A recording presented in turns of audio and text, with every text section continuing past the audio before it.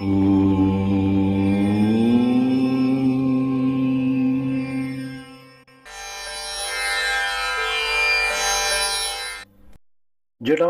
பாண்டுரங்கம் சூலஹஸ்தம் கிருபாநிதிம் சர்வரோகஹரன் தேவன் தத்தாத்ரேயம் அகம்பஜே அன்பான யூடியூப் நேயர்களுக்கு என்னுடைய அன்பு கலந்த பணிவான வணக்கத்தை தெரிவித்துக் கொள்கிறேன். எதிர்வரும் செப்டம்பர் பதினொன்னாம் தேதி குரு பகவான் வந்து வக்ரமடைகிறார். நவக்கிரகங்களிலேயே முதன்மையான சுபக்கிரகமாக போற்றப்படக்கூடியவர் குரு பகவான் பொன்னவன் என்ற பெயர். முத்தான மூணு பார்வைகளை கொண்டு விசேஷமான தனயோகத்தை தரக்கூடியவன் குரு பகவான். எல்லா உலகத்தில் நடைபெறுகின்ற எல்லா சுப நிகழ்ச்சிகளுக்கு மங்கள காரியங்களுக்கு கும்பாபிஷேகம் போன்ற ஆன்மீக விழாக்களுக்கு அதிபதியாக விளங்கக்கூடியவர் குரு பகவான். நவகோள்களிலேயே முதன்மையான சுபக்கிரகமாக போற்றப்படக்கூடியவர். எந்த ஒரு ராசிக்கு பெரும்பாலும் கெடுதலை தரமாட்டார். அத்தகையான குரு பகவான் வந்து தனக்காரக்கனாக புத்திரக்காரக்கனாக ஜோதிடத்தில் விளங்குகிறார். தனக்காரக்கன் என்றால் ஒரு மனிதன் பிற பிறந்ததுலேருந்து அவருக்கு தேவையான பொருள் பொருளாதாரம் வருமானத்துக்கு உண்டாகின வழிகள் செல்வ சம்பத்துகளை தருவது என்பது அவருடைய வேலை. அடுத்து புத்திர பாக்கியம் என்பது. ஒரு குடும்பஸ்தனானதுக்கு பிறகு அவருக்கு ஒரு குழந்தை பாக்கியம் மழலை பாக்கியம் தரக்கூடிய குரு பகவான் தனக்காரக்கனாக புத்திரக்காரக்கனாக சுபங்கள் நடத்தக்கூடிய அதிபதியாக விளங்குகிறார். பொதுவாக ஒருத்தருக்கு நம்ம கல்யாணம் நடக்கணும்னா குருபலம் வேணும். எங்கு சென்றாலும் குருபலம் இருந்தால் மட்டும்தான் வரன் ரெண்டு பேர்ல யாரோ ஒருத்தர் குருபலம் இருந்தாலும் திருமணம் நடத்தக்கூடிய ஒரு சூழ்நிலை உருவாக்கும். அதுக்கு தான் வியாழ நோக்கம் வந்து விட்டதா அல்லது குருபலம் வந்து விட்டதான்னு நம்ம பார்ப்போம். பொதுவாக குரு பகவான் வந்து தனஸ்தானமாகிய ரெண்டாம் வீடு புத்திரபாவம் பூர்வ புண்ணியஸ்தானமாகிய ஐந்தாம் வீடு களத்திரபாவமாகிய ஏழாம் வீடு பாக்கியஸ்தானமாகிய ஒன்பதாவது வீடு லாபஸ்தானமாகிய பதினொன்னாவது வீடு.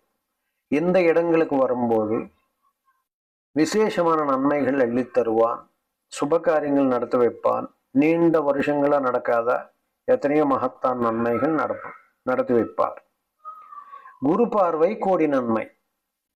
குரு தனித்திருந்தால் பால் அப்படின்னு சொல்லுவார்கள். குரு ஏதோ ஒரு கிரகத்தோட சேர்ந்து இருக்க வேண்டும். ஏன்னா முதன்மையான சுபகிரகம் பொன்னவன். விசேஷமான நன்மைகள் கோட்டீஸ்வரி யோகம் தரக்கூடியவன். செல்வந்தன் சிறந்த பண்புகள் வேதாந்தம் அறிவு ஞானம் நல்ல பண்புகள் சமுதாயத்தில் உயர்ந்த அந்தஸ்து சிறந்த தெய்வ பக்தி சிறந்த ஒரு ஞானம் எத்தகையான விசேஷமான நன்மைகளை தரக்கூடியவனாக குரு விளங்குகிறான் இப்போ குரு பகவான் வக்கரம் அடைகிறார் குரு பகவானுக்கு வெவ்வேறு நிலைகள் உண்டு ஜோதிடத்துல. வக்கரம் என்பது அதிசாரம் என்பது நேர்கதி சஞ்சாரம் என்பது இதுல குரு பகவான் வந்து மாறுறார் என்றாலே உலகத்துல ஒரு சந்தோஷம் ஒரு குதூகலம். காரணம் என்றால் ஏராளமான லட்சக்கணக்கான பேர் கல்யாணம் ஆகாம இருந்தவர்களுக்கு எல்லாம் கல்யாணம் நடத்தி வைப்பார். குழந்தை பாக்கியம் பிறக்காதவங்களுக்கு எல்லாம் குழந்தை பாக்கியத்துக்காக இயங்கிட்டு இருந்தவங்களுக்கு குழந்தை பாக்கியத்தை தருவார். இது போன்ற எண்ணற்ற மங்கள காரியங்கள் என்னென்ன யோகங்கள் அந்தந்த ஜாதகத்துக்கு அந்தந்த கர்ம வினைகளுக்கு இருக்கு இருக்கிறதோ அந்த ஜாதகத்துக்கு தேவையான நன்மைகள் நிச்சயமாக வாரி வழங்குவார் அந்த குரு பகவான் வந்து பொதுவா வந்து ஐந்து ஏழு ஒன்பது என்ற மூணு இடங்களுக்கு வரும்போது மூணு இடங்களுக்கு அவருடைய சிறப்பு பார்வை என்பது இருக்கிறது. அதாவது குரு என்றால் சாதாரண ஒரு விஷயம் அல்ல.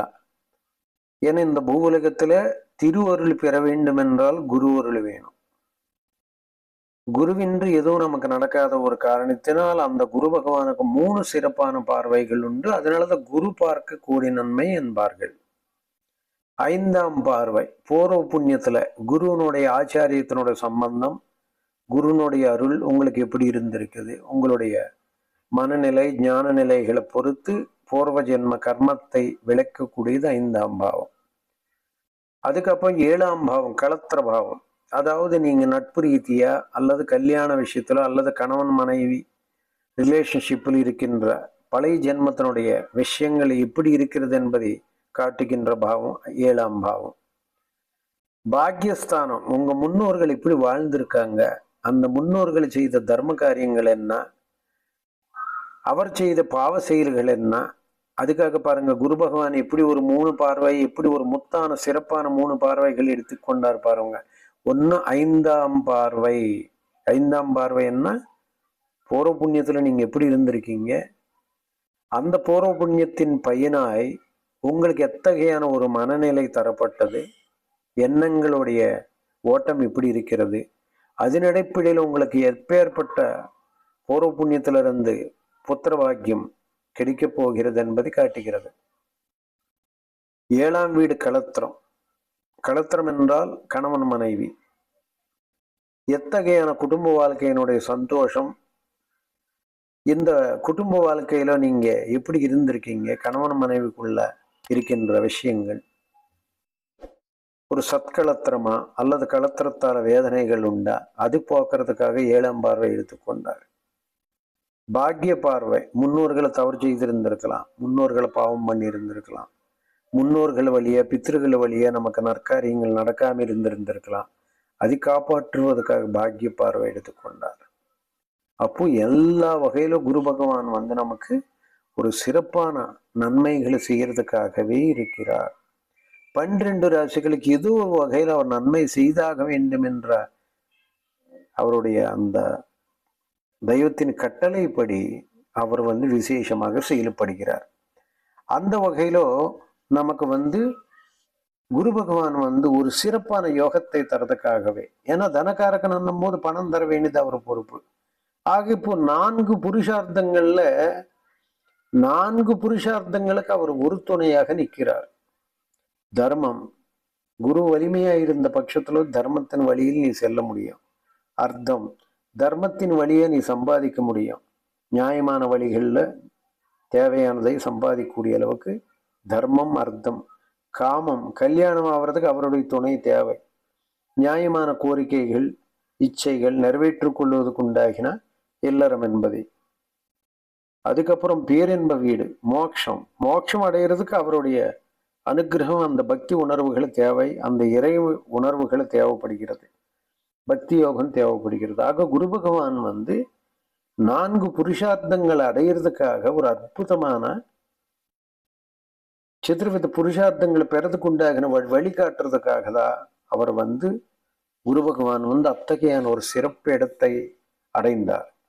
அது கொண்டுதான் நமக்கு குரு பார்க்கக்கூடிய நன்மை குரு அருள் இல்லாமல் திருவருள் இல்லைன்னு சொல்றோம்.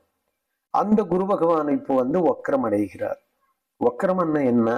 அப்படின்னு ஒரு கேள்வி வரும். பண்டைய நூல்களில் நமக்கு வக்கரம் என்றால் என்ன சொல்லுகிறது என்றால் பின்னோக்கி நகருதல். ஒரு கிரகம் வந்து பின்னோக்கு நகரும் போது சக்தியோட தான் நகரும்.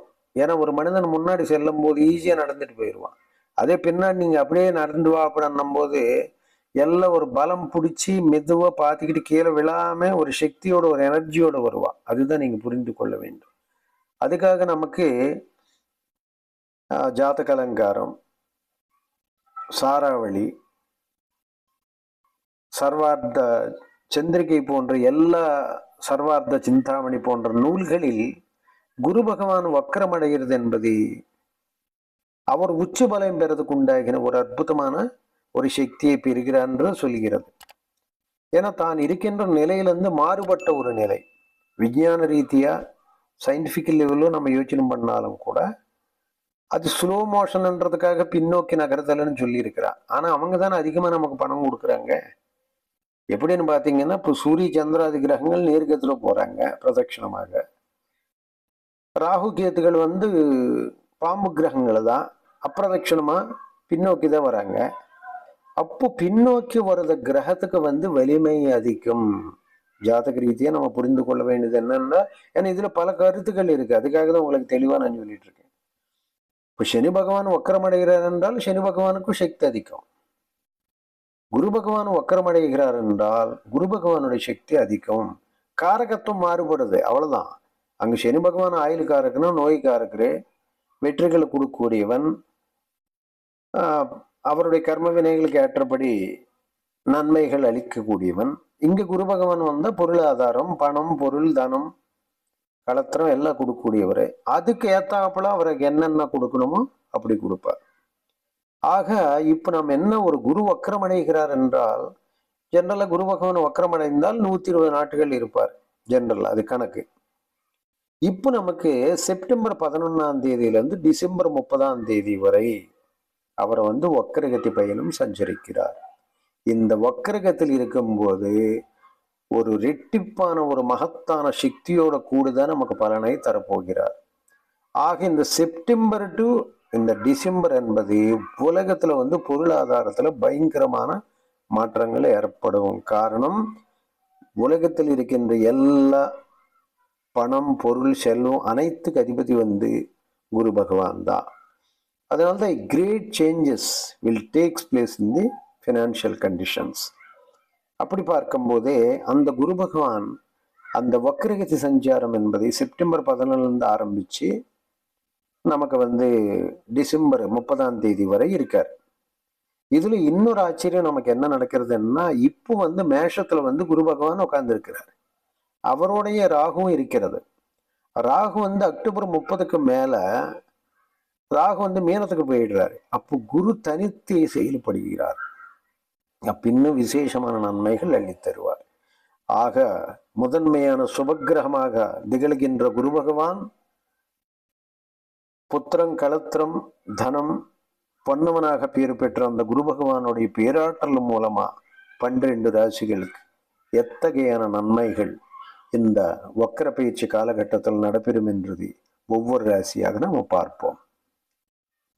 அன்பான மேஷராசி அன்பர்களுக்கு என்றென்றும் தரளாத தன்னம்பிக்கை வெற்றி மேல வெற்றி குவியினம் என்ற ஒரு ஆர்வத்துடன் செயல்படக்கூடியவர்கள் அஸ்வினி பரணி கிருத்திகை ஒன்னாம் பாதம் கொண்ட மேஷராசி அன்பர்களுக்கு இந்த குரு வக்கர பயிற்சி மூலமா எத்தகையான நன்மைகள் நடக்கப் போகிறது? அப்படி நம்ம பார்க்கலாம். மேஷராசி அன்பர்களே குரு பகவான் உங்களுக்கு வந்து ஜென்ம குருவாக வந்து பல சோதனைகள் வந்து கடந்த ஏப்ரல் மாதத்திலிருந்து தந்திக்கிட்டே வருகிறார். ஏன்னா ஜென்மகுரு ராமர் வனவாசம்னு சொல்வார்கள் அந்த அளவுக்கு இப்ப நம்ம கஷ்டங்களை கொடுக்கல. இருந்தாலும் நினைச்ச காரியங்களை வந்து உடனுக்குடன் நடக்க விட மாட்டார். காரணம் என்றால் ஜென்மகுரு அண்ணும் போது எப்படியோ ஒரு சுபர் அந்த இடத்துல இருக்கிறாரு. ஒரு நன்மைகள் தரக்கூடிய ஒரு தோற்றத்தை நம்ம உருவாக்குகிறார். பட் எதுவும் வந்து முடிந்து கைக்கு வராத ஒரு சூழ்நிலை தான் பெரும்பாலும் நீங்க பார்த்திருப்பீங்க இந்த நாலு மாசத்துல. இப்போ நமக்கு என்ன வரப்போகிறது ஒரு அதிர்ஷ்டம் என்று சொன்னால் ஃபர்ஸ்ட் வந்து உங்க மேஷராசி அன்பர்களுக்கு. குரு பகவான் வந்து முதன்மையான யோகக்காரகன். அது நீங்க புரிஞ்சுக்கணும் ஃபர்ஸ்ட் ஏன்னா அவருக்கு பாக்கியாதிபதியாக வருகிறார். ஸோ முழு சுபத்தன்மை பெற்ற ஒரு சுபராக வருகிறார். அப்போ ஒன்பது பன்னிரண்டு கூடையவனாக வருகிறார் என்றால் பாக்கியத்தை தந்து விடுகிறான். யார் மூலமா பாக்கியத்தை தந்து விடுகிறான்? பாக்கியஸ்தானம் என்பது முன்னோர்கள் வழி முன்னோர்களை செய்த தர்மத்தின் வழி. நீங்க பாக்கியத்துக்கு உண்டாகின வழிகள் அடையிறது என்பது வழி. அந்த வழி மூலமா உங்களுக்கு முன்னோர்கள் பூர்வ புண்ணியத்தால் அல்ல குலதெய்வத்தினுடைய அருளால் உங்களுக்கு வந்து பாக்கியம் என்பது கிடைக்கிறது என்பது உறுதி. அந்த பாக்கியத்தை வந்து சுபவிரயம் பண்றதுக்கு பன்னெண்டாம் இடத்தை ஆதிபத்தியம் பெற்றார். ஆக இங்க சுபாதிபத்தியம் வந்ததுனால நமக்கு கெட்ட ஆதிபத்தியம் செயல்படாது. அதனால தான் பயப்பட தேவையில்லை. அப்படி நடந்தாலும் பணம் கொடுத்ததுக்கு அப்புறம் நமக்கு சுப செலவு பண்ண சொல்றாரு. காசு கொடுக்குறாரு ஒரு கல்யாணம் பண்ண சொல்றாரு. கஷ்டம் இல்லையே தாராளமாக பண்ணலாம். இப்போ நமக்கு ஜென்ம குருவாக வந்திருக்கிறார். அப்போ ஜென்ம குரு வக்கரம் அடைகிறாருன்னு அர்த்தம்?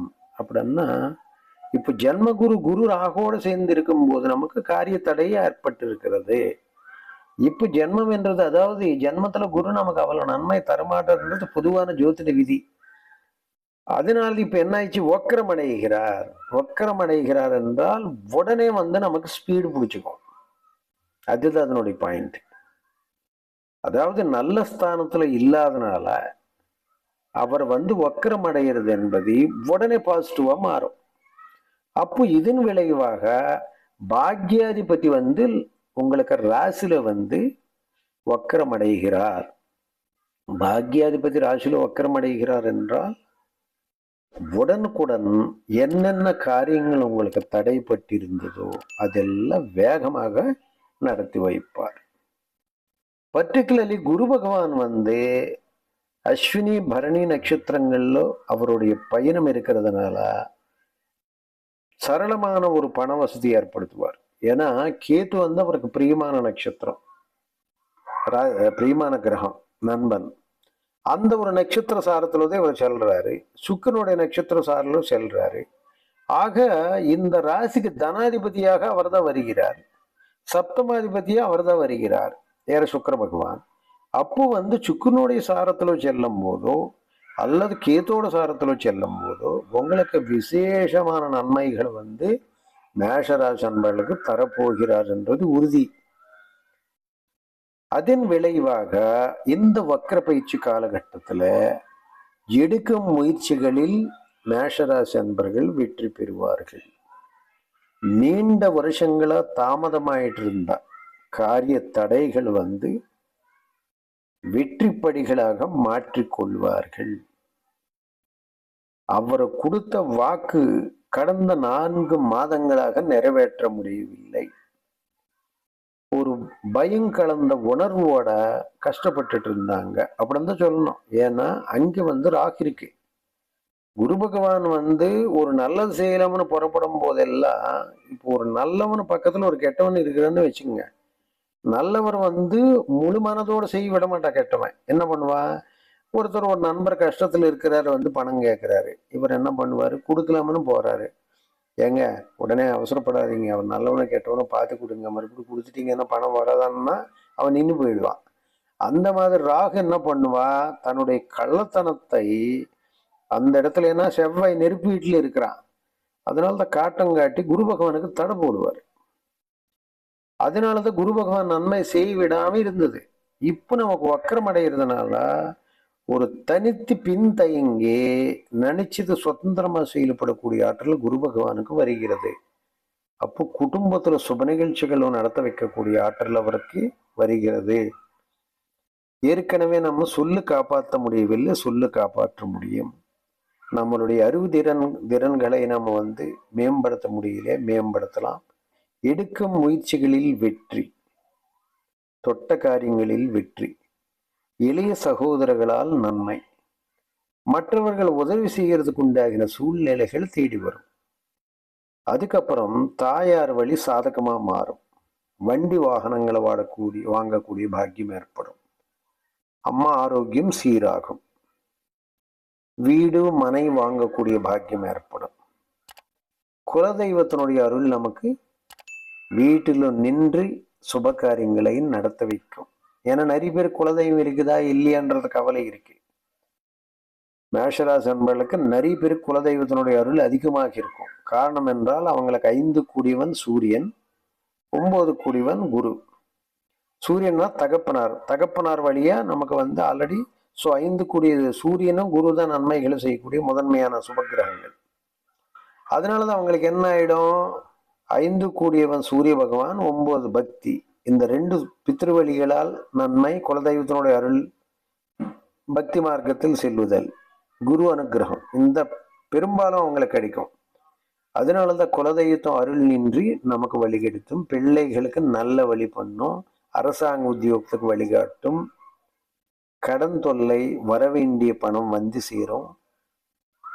கணவன் மனைவி உறவுகள் இருக்கின்ற சிக்கல்கள் நீங்கி நமக்கு வந்து நன்மைகளை பயக்கும்.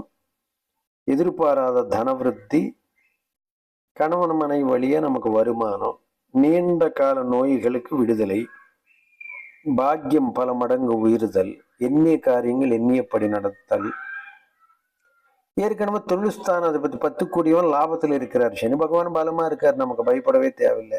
ஏன் உங்க தொழில்ஸ்தானாதிபதி அவர் லாபத்தில் இருக்கிறார். ஸோ எதிர்பாராத தனலாபத்தை நிச்சயமா கொடுப்பார். தொழில் வழியே லாபத்தை அள்ளி தருவான் சுபவிரயங்களை பண்ணி கோவில் கட்டுதல் கும்பாபிஷேகம் நடத்தல் கல்யாணம் நடத்தல் காது குத்து முதல் கல்யாண காட்சியோடு இருக்கின்ற சுப காரியங்களை எளிதாக நடத்தக்கூடிய ஆற்றல் மேஷராசி நிச்சயமாக தருகிறார். ஆக குரு பகவான் வக்கர பயிற்சி காலமாகிய செப்டம்பர் பதினொன்று முதல் டிசம்பர் முப்பது வரை இருக்கின்ற காலகட்டத்தில் அஸ்வினோ பிறந்தவர்களுக்கு அரசாங்க உத்தியோகத்துக்கு உண்டாகின வாய்ப்புகள் எண்ணி காரியங்கள் எண்ணிப்படி நடக்கும் வீடு வாங்குதல் வீடு கட்டுதல் போன்ற சுப நிகழ்ச்சிகள் வரவேண்டிய பணம் முன்னோர்கள் வழிய தந்தை வழிய கசப்பு இருந்தால் மாறி நம்மளை வெ விட்டு விலகி சென்ற சொந்த பந்தங்களை தேடி வரும் பரணியில பிறந்தவர்களுக்கு எதிர்பாரா தொழிலில் பயங்கரமான அதிருஷ்டங்களை தேடி வரும். அளவற்ற சொத்துக்களை சம்பாதிக்கூடிய பாக்கியத்தை குரு பகவான் கோடி கோடியாய் தருவார்.